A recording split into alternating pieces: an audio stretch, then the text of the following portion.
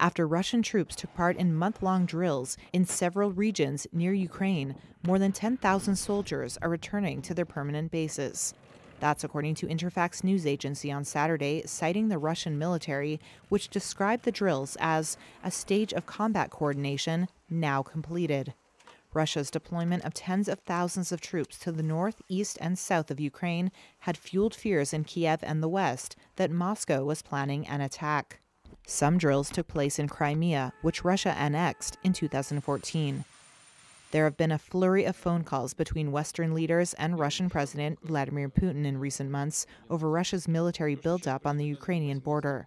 But Putin has denied any plans for an invasion. He says Russia needs commitment from Western nations, including a promise from NATO not to expand the alliance eastward toward Russian borders, because its own security is threatened by Ukraine's growing ties with the Western alliance. Moscow also says it can deploy its troops on its own territory as it sees fit. One U.S. intelligence report suggested there could be up to 175,000 troops that recently moved closer to Ukraine.